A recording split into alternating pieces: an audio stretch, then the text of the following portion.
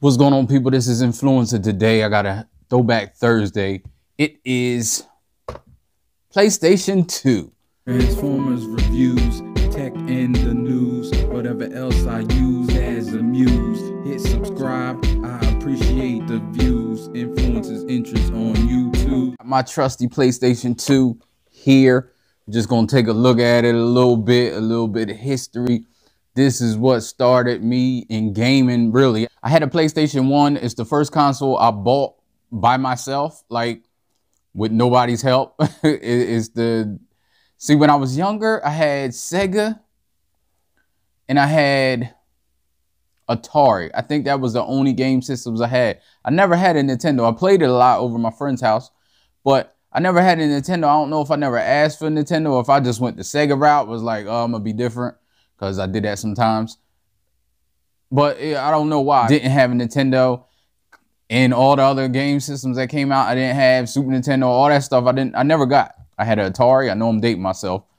I had a Sega Master System, and that was it. And then I bought a PlayStation, the first one, with my own money, and it was the first time I bought a system with my own money, and I was geek.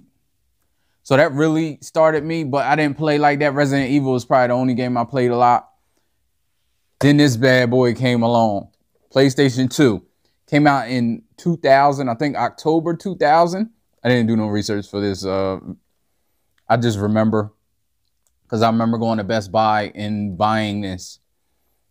And it was, it built, you know, you had the DVD player, you had the new memory card systems. It still have memory cards with this one. Got the logo here. You see the glorious dusty vents. This is old. Some of y'all, this is probably older than some people watching this right now. Uh, had the USB ports. I was like a USB port on a PlayStation on a game system. And then the big thing. I remember buying Final Fantasy just to get this. I don't know if it came with it. I didn't really play Final Fantasy. And I'm not sure if this was separate or you had to buy Final Fantasy to get this. This is the expansion that hooks up into, I don't know exactly what it's called. it's basically a modem. And you had expansion port, you took it out. I, it's screwed in now, so I can't really take it out. Matter of fact, let me see if I can get it. It's probably dust filled, so be prepared. Oh, no. I don't know if the other part was in here, but here's this. It basically connected onto some other, I don't know where the drive is. The drive's not here. I think it connected onto the drive that goes into this port right here. But yeah, this was revolutionary. Hooked up the phone line and you played online. Like that was the first game I played online. And then the game that blew it open for me, that I spent too many hours, too many days of my life. I used to play all Niners, everything was SOCOM 2, which is probably my favorite game in history because not only was it an online shooter, it was a third person. I hate first person shooters.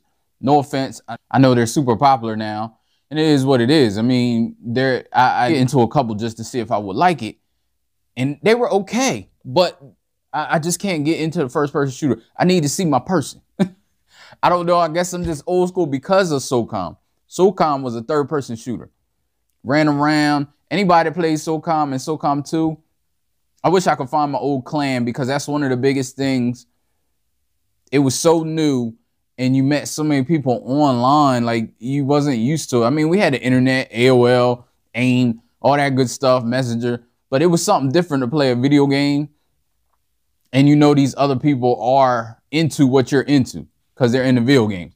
But they're also personalities. Like I had one of the clans I was in was from New York and and like I knew a, a lot of the people were from New York and they knew each other. So it was cool. It was cool just uh, vibing with them and we planned to meet up. We never did. I, I, they might have, but I, I, never met up with them. But I wish I knew the clan's name. I don't even know the clan's name, but I'm getting off topic because SOCOM 2 is so beloved. But this is what made it beloved. This PlayStation 2 here. I mean, it's just it, it, was just a great machine. It was just a great machine, and this is just a little throwback Thursday for today. I'll never get rid of this. This will be in my collection. Uh, I need to clean it. I'll probably restore it somewhat, like take it apart and vacuum it out and do all that good stuff. But yeah, if you know, you know. If not, and before I go, one last thing. Like I have nothing against Xbox, but I think a lot of people don't understand PlayStation came out first. So a lot of guys that are a little bit older were on PlayStation first.